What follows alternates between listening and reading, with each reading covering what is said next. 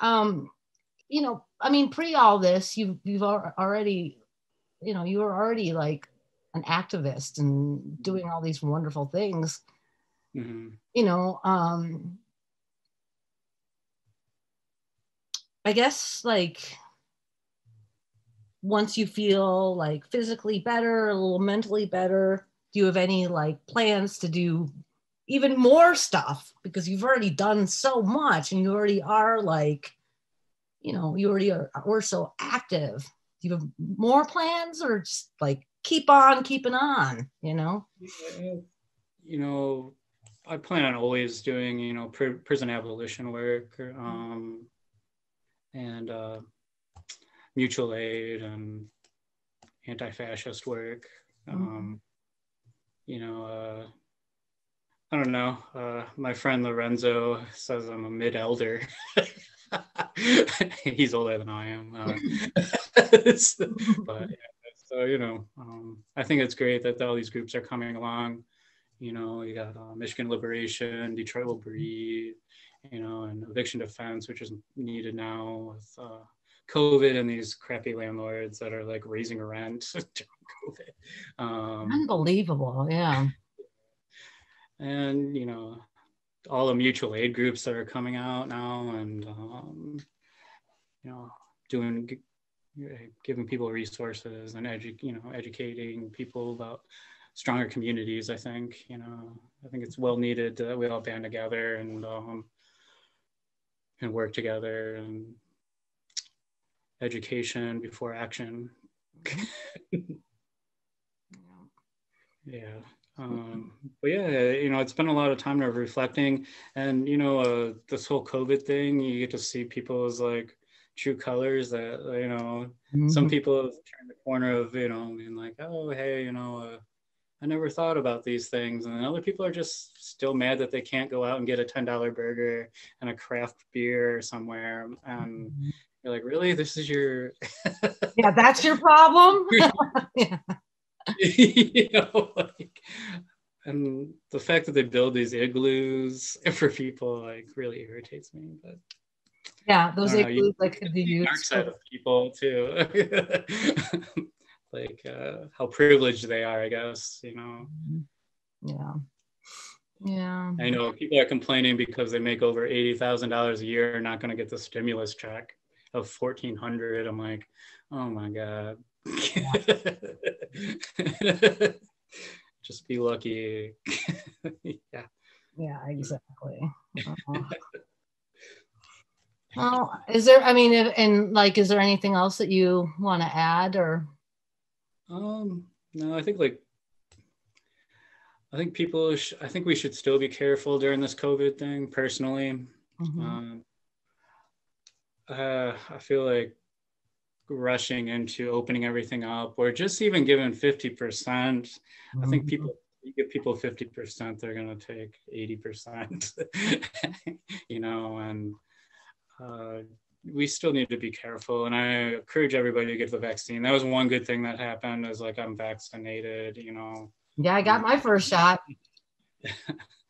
but I'm still wearing a mask and washing hands and yeah, you know, because I could, I believe once you have the vaccine, you can still transmit it plausibly. Yeah. Mm-hmm. yeah, I encourage everybody to get the vaccine. Um, it's no big deal. You're just going to feel a little bit crappy for a day. mm-hmm. It's worth it. mm-hmm. Definitely. Yeah, you could be on a ventilator for a month, or uh, you know, uh, or worse. Have it too, like lung problems. You know. Yeah. the rest of your life. So yeah i think we should keep on it you know mm-hmm.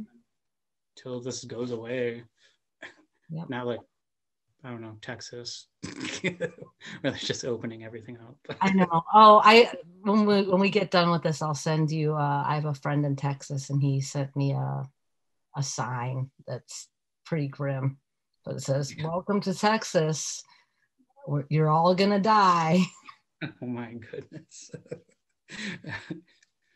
So another thing I want to add too is um, in the prison system, um, they're they're getting hit hard with mm-hmm. COVID, and um, I think Michigan, outside of Washtenaw County, uh, Michigan prison system right now is um, got the largest cases of the new strand of COVID, the MPLC, and um, that's not being brought in by um, the prisoners. It's you know the staff too. And, mm-hmm. and reports have it, you know, um, from Huron Valley Correctional Facility that they're not even giving out proper masks, and and the mental health is really um, a big issue in the prisons right now because they can't get visitors and whatnot. And uh, so that's something we're kind of looking at right now. Yeah. Because they're pretty much ignored. yeah, they're treated like they're not people. Exactly. So that's been something that's been brought up by a bunch of people. So yeah, put that out there so people are know. Yeah. Is there anything that people can do to like I mean, I, I think I saw something about like letter writing campaigns that you can write. Yeah, there's letter writings. Um, I work with uh, Anarchist Black Cross Detroit. Mm-hmm. Um, you can contact us and we can send you like a list. Um, uh, currently, we're working with um, folks in the uh, women's prison in Huron Valley, mm-hmm. uh, often overlooked. Uh, they're the only women's prison in the state, and um, yeah, they're pretty much overlooked with like 16 other facilities that are just male, like throughout the state. Mm-hmm. Um, but yeah, there is letter writing, um, and you know they're pretty open with the letters about what what's going on inside, and yeah. so I encourage people to write letters if they can, or if they have any questions. You can. There's various people that do um, prisoner work, but you can always contact uh, Anarchist Black Cross too. And we have letter writing kits that we can give you to show you what to do. All right. Thank you, Gary. no problem. Anytime. It was really nice talking to you, and you know, we'll check back and talk to you again soon. Yeah. All right. Fantastic. Thank you so much for talking to me today, Gary. No problem. And have a great day, and you know, rehabilitating. Yeah. All right. All right. I love you, Gary. You too. All right. Have a good day. All right. You too. Bye. Bye. Bye.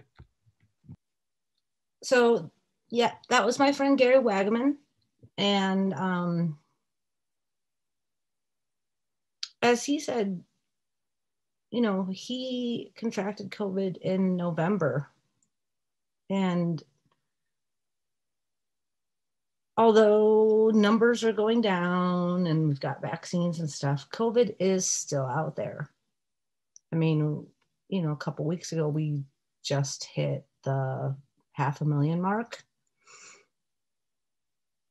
So please, please, please, please still try to keep COVID safe. And um, I can't stress that enough. There's so many wonderful people doing wonderful things, and um, we got to make sure that all these people are still around. I have a lot of a lot of admiration for Gary. Um, he's just an amazing, an amazing, amazing, amazing person. Um, so yeah, I'm Komelina and I'll be back soon with another video for Heart of Detroit. I hope that you will tune in again. Have a good day and um, mask up. And hopefully, if you haven't gotten vaccinated soon, you'll be able to. I love you guys. Bye.